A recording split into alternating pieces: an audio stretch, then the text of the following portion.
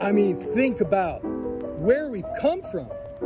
We started this with this joke, this reality TV show host who is going to become president of the United States. It started out as a joke, a joke to everyone. And then it turned into something serious.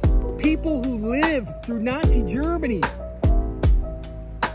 The man who created the World Court himself called What Was Going On at the Border Atrocities Against Humanity. we all looked the other way, everybody in this country. We just moved on to the next news cycle, the next news story. For four years, we've been watching it unfold in front of our eyes. The backdoor deals, the secret meetings, the moments where he looked at you and said, don't believe what you see with your eyes. Don't believe the fake news. And he just kept going farther and farther. This should have been over the day he was making fun of disabled people.